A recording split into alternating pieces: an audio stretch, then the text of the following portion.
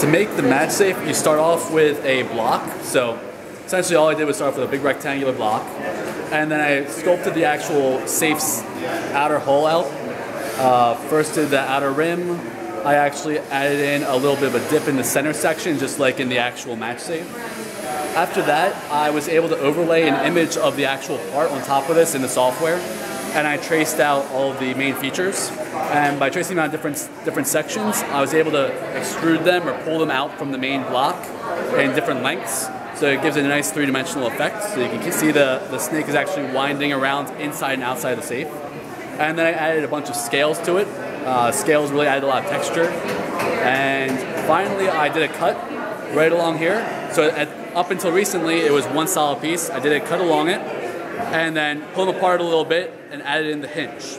And uh, in the end, we had to actually have an insert to pin them together.